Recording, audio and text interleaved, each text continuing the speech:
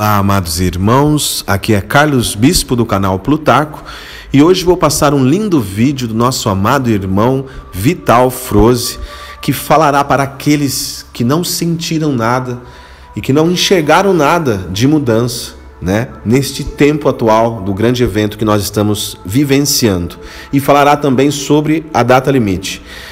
Mas antes eu quero dizer para vocês, amados irmãos, quero parabenizar a todos vocês pois estamos aqui agora, neste momento.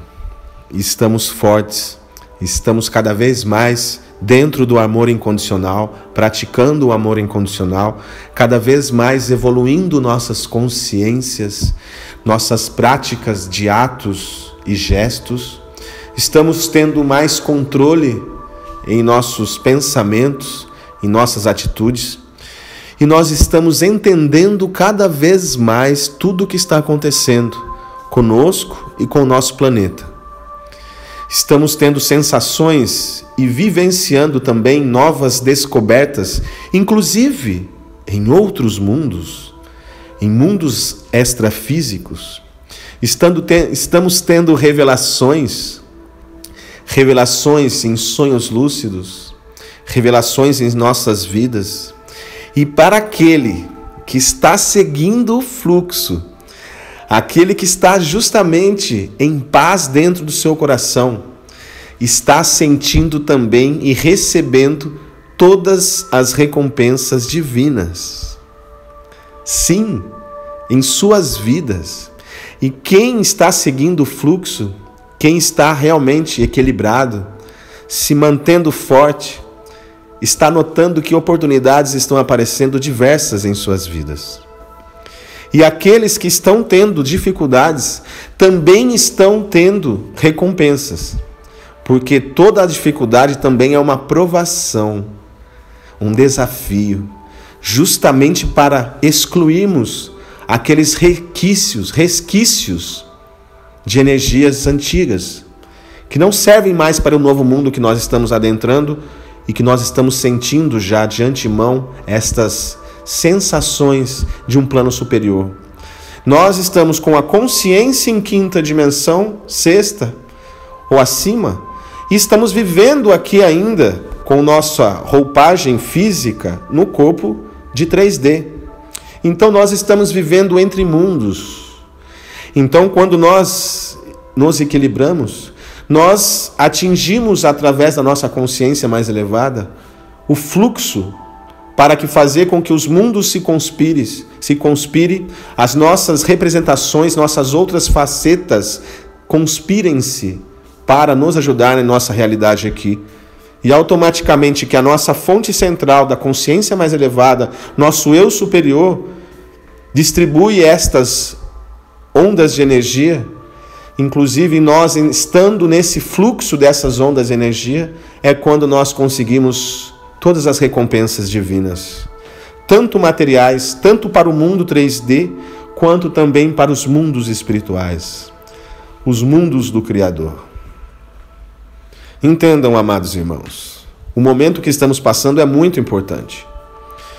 São muitas mensagens que eu passo a vocês, nossos irmãos galácticos, celestes, dos nossos irmãos aqui em vida em 3D, como nosso amado Vital Froze, entre outros, que estão dizendo para você, você o seguinte: estamos em um momento cíclico em nosso sistema solar, em nosso planeta, em nossa civilização. Tudo está acontecendo, nada é à toa, amados irmãos. Chegamos ao marco da data limite, mas não quer dizer que não tenhamos que continuar o trabalho. Na verdade, é agora que nós começaremos a trabalhar justamente para fortalecer a luz nesse planeta e vencermos a vitória que já está ganha. Mas escolhemos a linha do tempo necessária para essa vitória. Então, amados irmãos, é agora a hora de trabalhar ainda mais. É agora, é a hora de aplicar tudo que você aprendeu até agora. Aplicar justamente o que você aprendeu. nos bons atos, nos bons costumes, nos bons pensamentos, nas boas atitudes em geral. Tanto aqui neste mundo físico, quanto a ligação que nós temos com um mundo superior. Muitas revelações no planeta Terra, diante de nossa civilização, irão se revelar. Irão se apresentar diante de nós. Das mais tocantes, das mais árduas, as melhores onde iremos comemorar. Porque a verdade está chegando a cavalo e vai tomar conta de todo esse planeta. Então chegou a hora, amados irmãos, de nós continuarmos trabalhando, ainda com mais ênfase agora, aplicando tudo o que nós aprendemos para poder ajudar o próximo. Concluímos a primeira fase. Agora vamos para a segunda, porque há muito por vir. Então, se nós chegamos até aqui, porque fomos preparados para estar com a consciência no nível que nós estamos, através do amor incondicional e através das altas frequências de pensamentos e de ser, simplesmente. Agora chegou a hora de imperarmos a luz nesse planeta.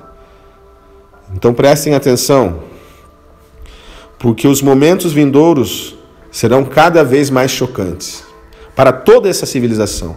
E é por isso que nós, estando centrado em nossos corações, iremos justamente emanar o que a, o nosso próximo precisa. As formas, pensamentos do bem, do amor. E com isso, acalantar os corações de todos. Chegou a hora, amados. Então promovam o amor. Grandes trabalhadores da luz. Muitas bênçãos a todos. Fiquem com a mensagem de Vital Froze, que é muito bela, muito importante. Vejam até o final. Muitas bênçãos. Até a próxima.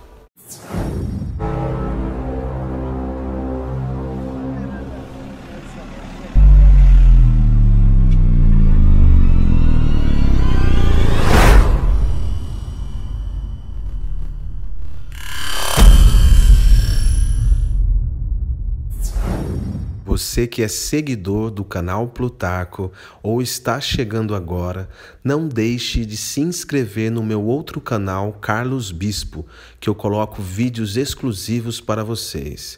O link estará no primeiro comentário fixado deste vídeo.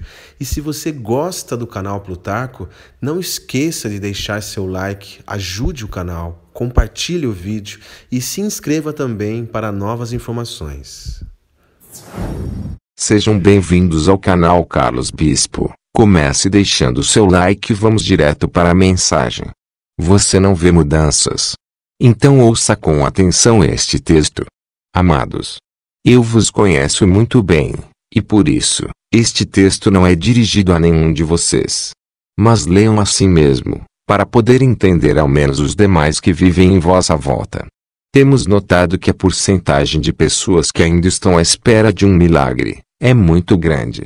É fácil de perceber que ainda há quem viu uma informação referente à transição planetária hoje, e já nos próximos dias, espera que tudo esteja mudado. Como não é assim que funciona, essas pessoas ficam frustradas.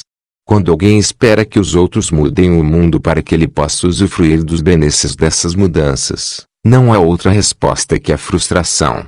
As mudanças estão ocorrendo e são visíveis, mas apenas para aqueles que as estão experienciando. As mudanças acontecem naturalmente numa época de transição planetária. Tudo vai mudar. Independente de uns e outros fazer ou não as suas mudanças individuais. E aqui está a chave de tudo: quem está vendo as mudanças. Obviamente que só vai percebê-las aqueles que fizerem as suas mudanças internas. Aqueles que compreenderem o mecanismo de uma transição e aqueles que sabem que tudo tem o seu tempo. Nada vai acontecer de um dia para outro, como um passe de mágica. O grande mestre crístico Jesus nos disse que em breve chegaria o final de um tempo e o início de uma nova era. E olha que isso foi há dois mil anos. Enfim, estamos dentro desta transição tanto esperada. Embora tudo seja muito rápido na medida do tempo infinito, dentro do nosso tempo linear são necessários alguns séculos. As informações recebidas através dos amparadores angelicais dizem que a transição deve durar em média três séculos. Então, pelo que me é facultado saber, esse período iniciou na metade do século XVIII. Mais ou menos por volta de 1740 a 1750, um grupo de espíritos fez um projeto coletivo para encarnar na Terra e trazer o Consolador prometido pelo próprio Cristo.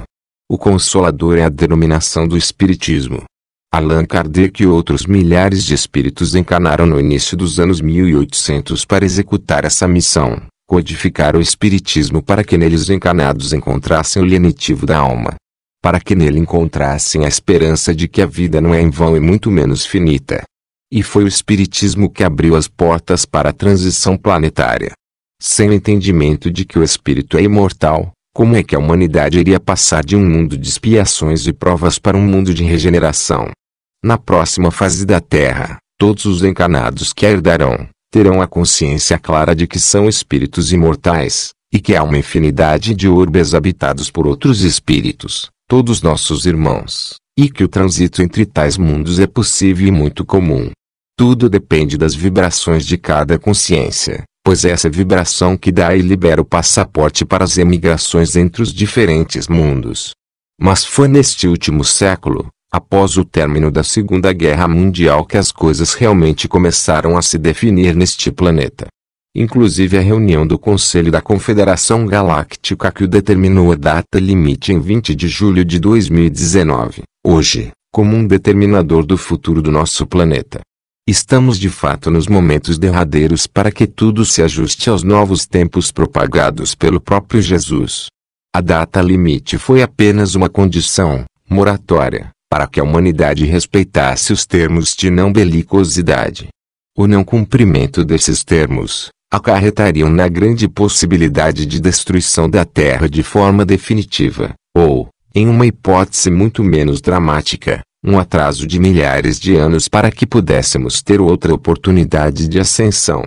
Ainda teremos mais alguns anos ou algumas décadas para que tudo esteja consumado como um planeta de regeneração e livre das expiações e provas. Os espíritos que não querem ser regenerados, já não estão mais encarnados aqui há algum tempo. Os remanescentes estão sendo levados para outros orbes.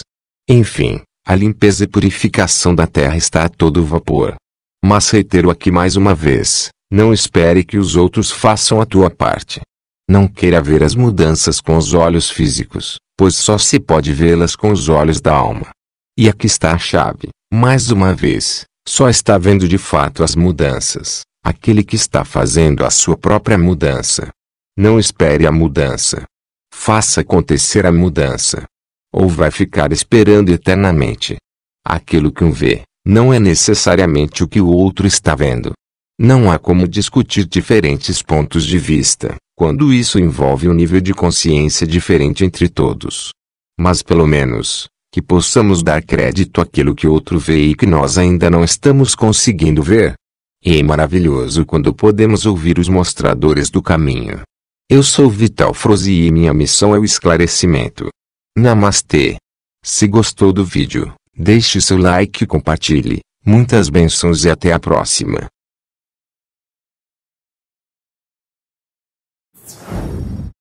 Vitória da Luz